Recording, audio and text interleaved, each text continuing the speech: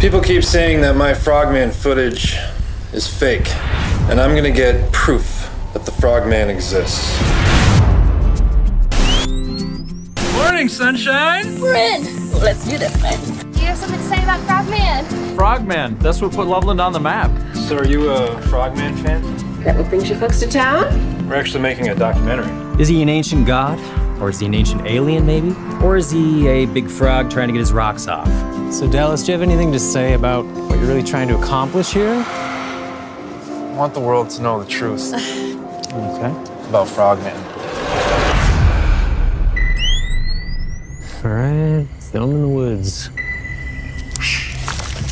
What the fuck was that?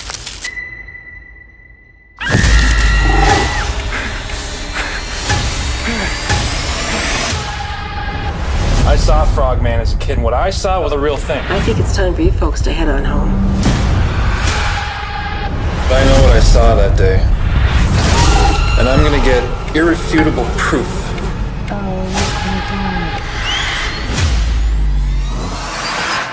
The Frogman exists.